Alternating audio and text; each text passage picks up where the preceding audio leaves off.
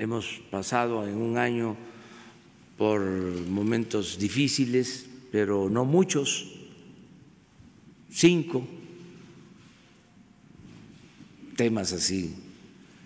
Este, ahora lo digo porque son de dominio público. Este, los voy a subrayar. Uno, el más doloroso de todo, el que más me pegó en lo íntimo, fue lo de la explosión en Hidalgo, donde perdieron la vida 137 personas. Eso fue lo más lamentable, lo que más nos afectó.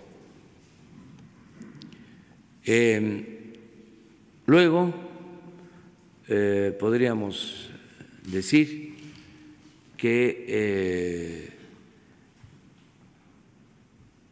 tuvimos lo de los aranceles,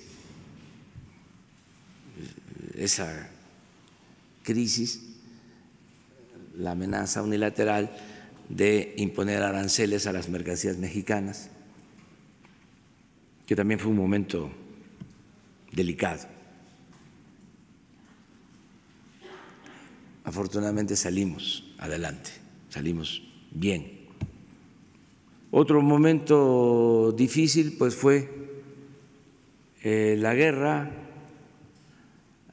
que se desató en Sinaloa, una guerra breve, yo creo que es la guerra más breve, fue también complicado, porque eh, tomamos decisiones en circunstancias difíciles, pero consideramos que fue lo adecuado, que se actuó bien. Ahora, esta lamentable tragedia de la familia Levarón, este, la pérdida de la vida de tres mujeres, seis niños, eso fue muy fuerte, eh, y estamos actuando para esclarecer los hechos, para eh, que haya justicia. Estamos trabajando en eso. Y me falta uno. Bueno, podría ser también lo de la decisión que tomamos de eh, otorgar el asilo a Evo Morales.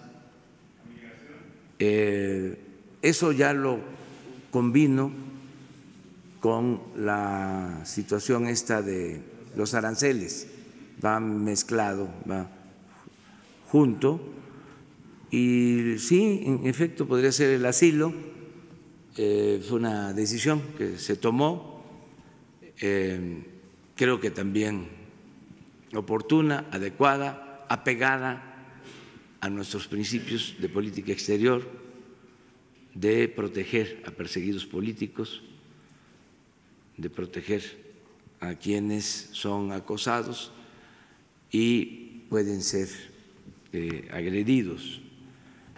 Ahora, eh, asignaturas pendientes en el plan, el problema de la inseguridad, de la violencia,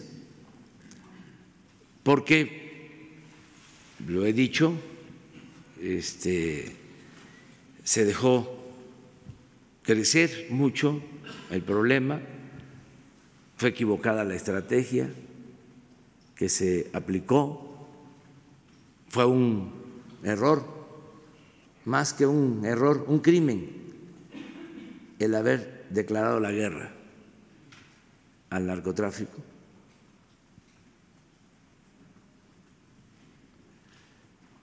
Y todavía estamos nosotros este, padeciendo de esa decisión equivocada de pegarle un garrotazo a lo tonto al avispero